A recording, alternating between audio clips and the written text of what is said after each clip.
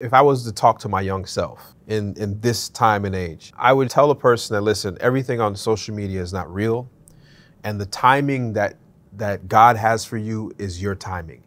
You don't need to be an 18 year old millionaire or 21 year old millionaire, or maybe not a millionaire at all, to be able to reach that freedom.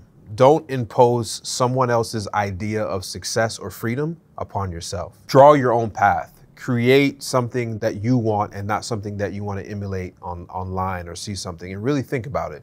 And when you pinpoint what it is that you want to do, write your goals down, execute them, make mini weekly goals so that you can reach the big goal, travel as much as you can, meet as many people as you can, talk to as many people as you can. You won't know that you're collecting these pieces of the puzzle.